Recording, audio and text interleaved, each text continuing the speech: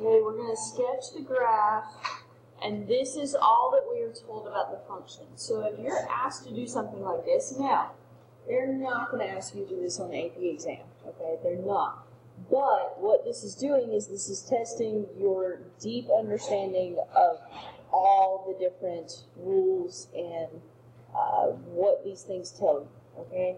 Um, so if you know how to do this, you should be able to answer the questions where they give you a graph and they say, well, what's true about this? You know, the function's increasing on this interval or function's concave down on this interval, that sort of thing. Okay. All right, so the first thing that they tell us is f of 2 is equal to f of 4, which is equal to 0. So anytime they give you specific points like that, that's where you want to start. You want to plot those points. So when x is 2, our function is equal to 0. When x is 4, our function is equal to 0. Those are the only two definite points that we have um, for this graph. Okay? Alright, now let's read the other ones. We're going to read them before we start actually doing anything with them. Alright, f prime of x is less than 0. Well, less than 0 means it's negative. So f prime is negative when x is less than 3, which means if f prime is negative, what does that tell us about f? It's decreasing, right? The function is decreasing to the left of 3. f prime of 3 does not exist. Now, they didn't say f of 3 doesn't exist. So it is continuous. They say f prime of 3 does not exist. That means you can't take the derivative there. So that's probably like a sharp point, something like that. f prime of x is greater than 0, so f prime is positive, which means f is increasing when x is greater than 3, so to the right of 3.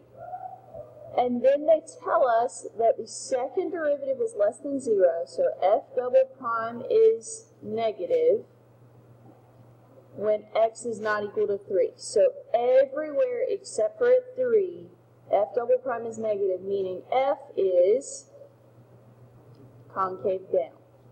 Our entire function is concave down except at 3, and it's not concave down at 3 because it's not differentiable at 3. So it doesn't have any concavity. So what we can draw from this is um, to the left of 3, I am decreasing and I'm concave down. Whoops.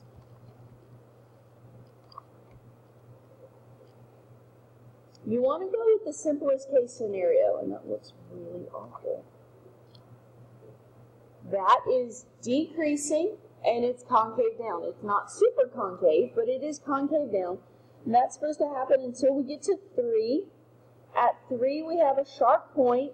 At 3, we begin increasing, but we are still concave down. So this is the simplest scenario that we could draw for these given conditions right here. Completely continuous. It didn't tell us that it was discontinuous anywhere. Um, we've got the increasing, we've got the decreasing. It's concave down everywhere except at 3 because it's not differentiable at 3. We've got that sharp point, and we go through the two specific points that they ask us to go through. Okay? So don't make it complicated. Um, this is kind of, we did this before with limits. Okay? Now, technically, that we know first and second derivatives, we could put all those together. We could throw some limits in here uh, to give it some more detail. Uh, but this just has derivatives and second derivatives in it. But remember, the, uh, the main point with those was it's got to be a function. It's got to pass the vertical line test. So make sure that when you're drawing these, you don't have any crossing lines. Now, for some reason, I think it's because the derivatives are a little uh, more straightforward, maybe. People don't tend to have the issue that they have with having too many lines going on like they do with the limits.